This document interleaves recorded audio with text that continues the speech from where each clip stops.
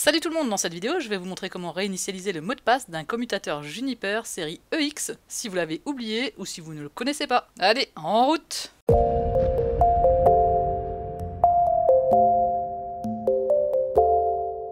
Alors pour commencer, il vous faudra évidemment un accès physique au commutateur. Ensuite, il faut ce qu'on appelle un câble console.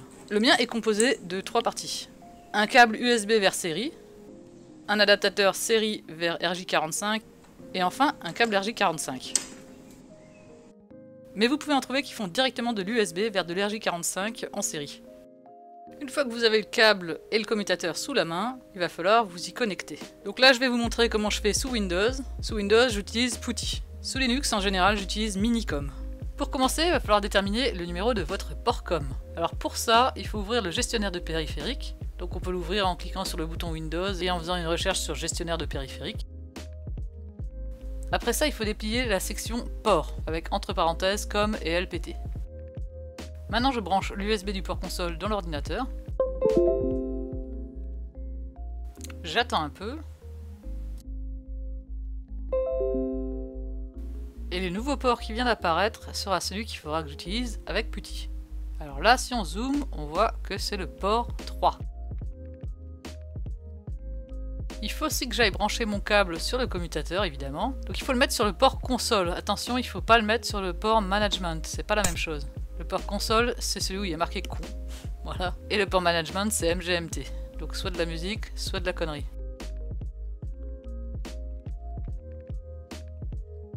Maintenant que je connais le port et que je me suis branché au commutateur, je peux lancer PuTTY. Je choisis Serial. Au lieu de COM 1, je mets COM 3. Et j'appuie sur Entrée ou je clique sur Open. Là, je me retrouve avec une fenêtre noire. C'est normal, il faut maintenant que je démarre le commute. Pour ça, bah, il suffit de le brancher. Ils sont vraiment silencieux, ces EX 2002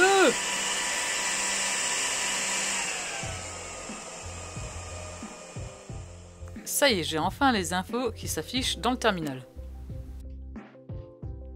Alors là, pour choper l'invite de commande, faut être rapide. Parce que vous avez à peu près une seconde.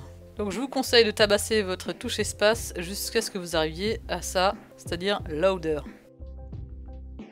Donc au-dessus vous voyez que c'est marqué Hit Enter to boot immediately or Spacebar for command prompt. Donc Spacebar for command prompt, c'est ce qu'on vient de faire. Je vous montre aussi quand on n'y arrive pas, donc on n'a pas à taper au bon moment. Ça donne ça. Vous le voyez, vous le voyez plus. Si vous ratez, vous allez vite vous en rendre compte puisque les infos vont continuer à défiler. Mais c'est pas grave, il suffit de redémarrer le commute et de recommencer.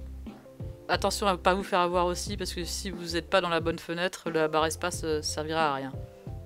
Ça m'est arrivé et je me demandais pourquoi ça marchait pas. Même si ça va assez vite, si vous appuyez plusieurs fois sur la barre espace au démarrage, vous devriez avoir le prompt sans problème. Mais revenons à notre loader. Donc maintenant, vous allez avoir une série de commandes à passer pour pouvoir réinitialiser le mot de passe. Alors on va commencer avec boot espace-s.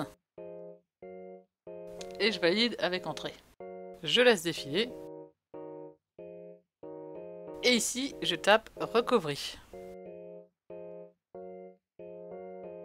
Je laisse à nouveau défiler, là ça prend un peu plus de temps.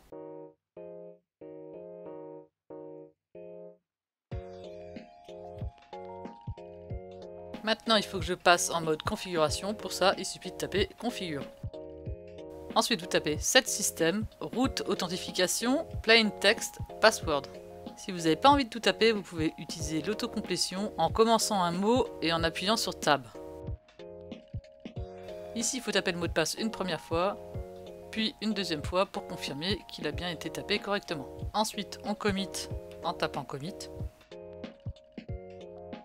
On fait deux fois exit et on répond oui à la question de savoir si on veut redémarrer le commutateur. Donc là, ça prend un peu de temps, c'est normal.